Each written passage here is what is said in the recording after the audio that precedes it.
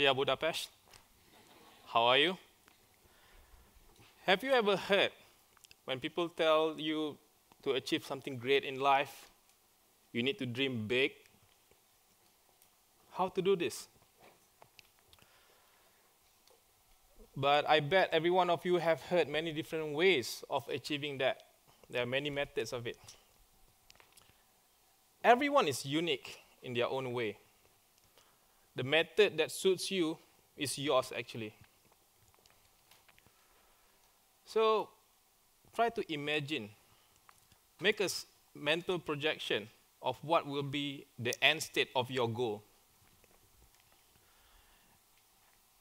And Dave, Stephen Covey once said, begin with an end in mind.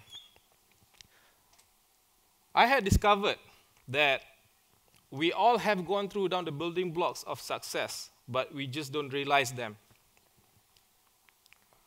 When I was a kid, I had an image of space in my head, and this made me happy.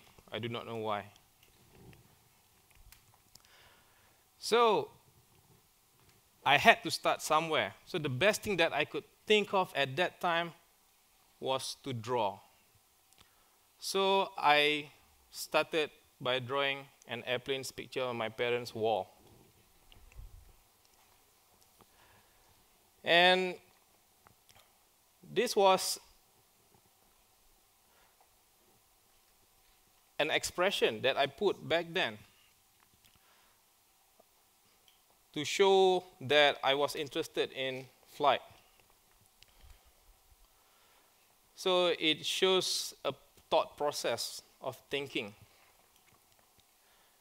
And then later, during my elementary years, I started to wonder about flight. So begin with a kite.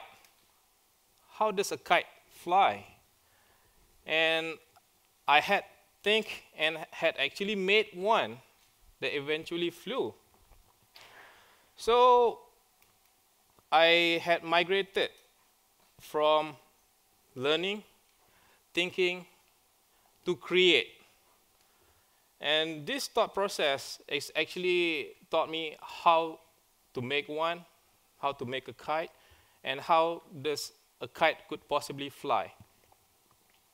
So with this thought process later, during my teen years, I said, if I could fly this and take it to the next level, I could achieve higher.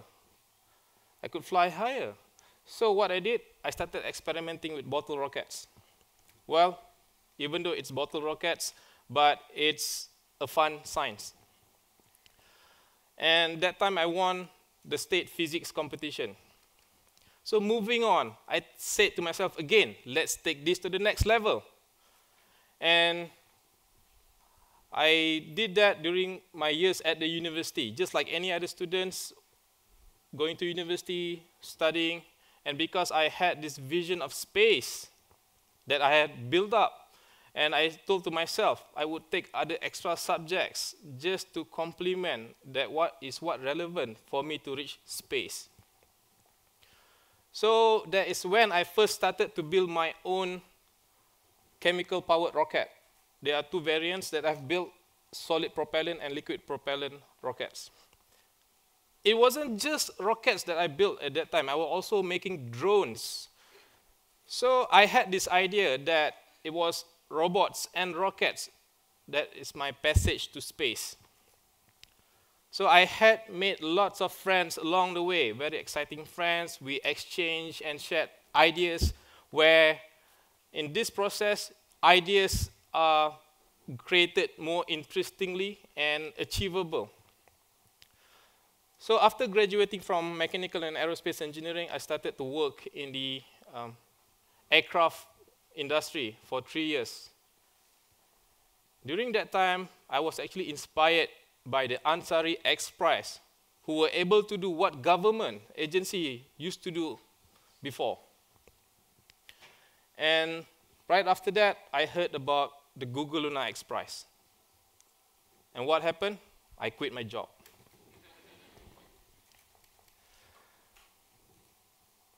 So during this time, I had set up a company to join the Google Lunar X Prize, where I put an aim to launch pico and nano satellites into space. It was a crazy idea, but that was the target. So Google Lunar X Prize helped shape and mold me in this process. I faced two challenges, two major challenges. They are to overcome technical obstacles and the obvious one, funding. So during that point, how do we solve this? How do we make this project relatively lower cost compared to the entire Apollo program? Because we know they spend billions of dollars, and how are we able to achieve this? So this is what we did.